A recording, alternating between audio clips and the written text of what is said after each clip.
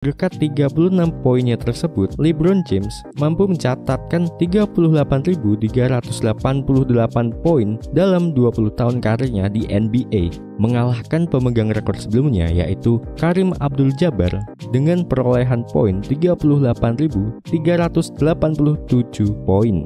Namun dari pertandingan tersebut, LeBron James yang mencetak sejarah gagal membawa Lakers untuk menang. Usai tumbang dengan selisih. Nah, jika kalian penasaran dengan fakta-fakta menarik lainnya mengenai LeBron James, cek full videonya di bio Tell Story atau klik link di bawah ya.